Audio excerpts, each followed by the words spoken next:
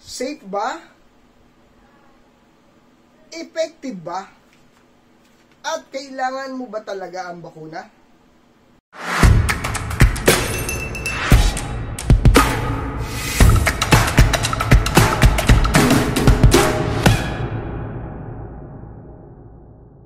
Doc Nan, ang inyong holistic medicine health coach doctor.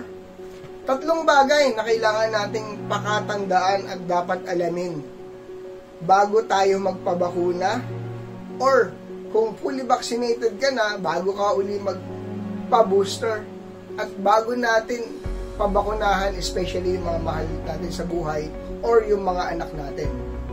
Tatlong bagay po. Ang unang-una, ang safety. Safe ba talaga itong bakunang itinuturok sa atin ngayon? So, ito po ang isipin natin. Ang bagong vaccine ng uh, COVID, ito po ay newly developed lang. So, hindi po ito katulad ng mga traditional na bakuna na alam natin, katulad ng polio vaccine, na napag-aralan ng mahabang panahon. Bakit po kailangan ng mahabang pag-aaral?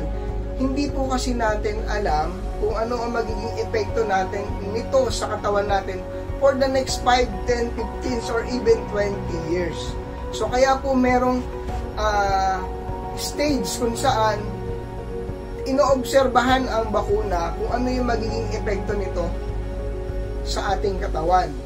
So sa ngayon po, itong uh, vaccine na ito ay experimental at meron lang emergency use authority. So, ibig sabihin, dahil lang po sa pandemic, uh, binigyan nila ng clearance for experimentation. Ngayon, um, dahil nga po experiment, so unknown, hindi natin alam kung ano yung pwedeng mangyari sa katawan natin. So, sana po, bago, na, bago tayo magpaturok nito, especially dun sa mga bata, uh, alam natin or naintindihan natin na malaki yung risk. Okay? So, sana po maliwanag na pagdating sa safety, wala pa po itong product certificate na ito ay safe under experimental. So, dito naman po tayo sa effectivity. So, lahat po ng mga naturukan ng bakuna at saka mga hindi, halos pare-parehas lang na nako-COVID pa rin, nagpa-positive pa din. So, ang nangyayari, ang pinaka nagiging benefits ng bakuna sa atin ay gate pass. Ang makapasok lang sa ating mga pinapasukan, sa mga mall, at nagiging requirements pa nga kung saan saan. So, yun po yung pinakamaliwanag na naitutulong sa atin ng uh, bakuna.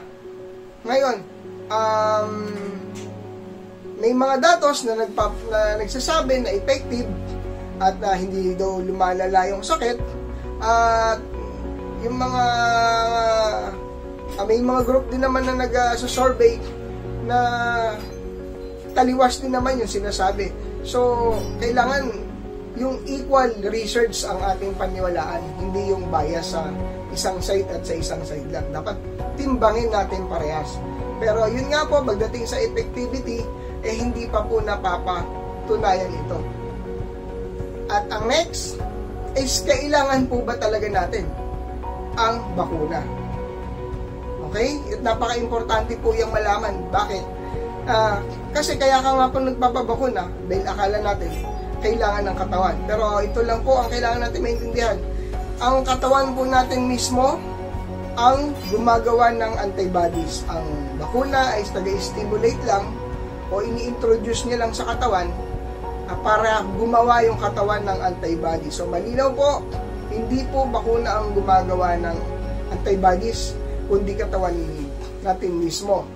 At malinaw na malinaw naman po sa datos pa lang ng ating gobyerno, nakikita natin uh, more than 98% gumagaling ng walang uh, kailangang gawin or ng natural. So, dun po sa 2%, eh, napakaliit ng chance. And then hindi pa natin alam yung mga totoong dahilan. May mga comorbidity pa yung mga sinasabing namamatay so ang liit po ng mortality rate na ang talagang dahilan lang para tayo magpabakuna is para lang nagiging requirements Pero tandaan po natin, meron po binigay sa atin ng Panginoon na natural immunity at napakalakas po niyan at stable once na napagtagumpayan na ng katawan natin yung virus. Habang buhay na po yung uh, meron tayong immunity. Ang best example, yung chicken pox. Kapag nagka-chicken pox ka, hindi ka na uli magkaka-chicken pox. Umulit man ito, mild na lang. Bakit? Kasi meron ka ng sundalo or meron ka ng antibodies na panlaban mo sa virus na yon. So, kaya meron ka pong uh, nakasurvive ka na sa COVID, ibig sabihin, napakalakas na ng immune system mo. Hindi na yan, hindi ka na uli gagambalahin at hindi ko na uli sasaktan ng, ng COVID na yan. So, tatlong bagay po na napakatatandaan natin, lalo na dun sa hindi pa mga nagpapabakuna, sana po nakatulong ang video na ito hanggang sa susunod na video. Salamat po. Doc Nan.